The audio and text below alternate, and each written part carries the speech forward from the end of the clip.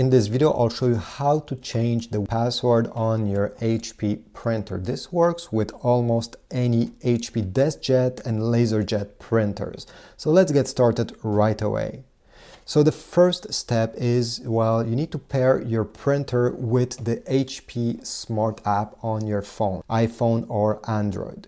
Once it's paired, just open the app and this is the main menu. You're gonna find your printer on the top over here. You can slide around and and shuffle through different models. This is mine, I'll tap on it. Then in this menu, I'll go down until I see advanced settings. Once you clicked on this, you're gonna get this screen, press OK. It will open in your browser. Now it's loading and here we have another menu. You're gonna click on settings. Then go down and click on security. And from here, you're going to tap on password settings.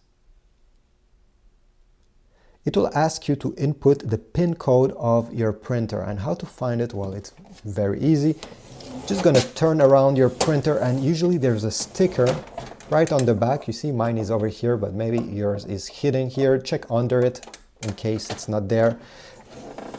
And over here you see there'll be a barcode and on the corner you're going to have a lock pad and pin with a number.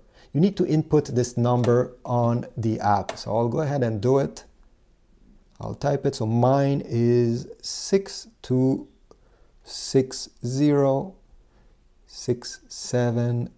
62606794. Press submit. And now we have this screen appearing that is perfect. Now you have to choose your password on this page. You see there's a first box here. Well, you need to type it and then you need to confirm it by typing it under here. If you don't want your printer to have any password in case maybe you're the only one using it and you know no one will try to connect to it and print, well you just have to leave these boxes empty and press apply. By doing this, it will load and you'll get this green check mark telling you that the password has been changed. In my case, I just removed it. But if you have typed yours there, well, this will be the new one.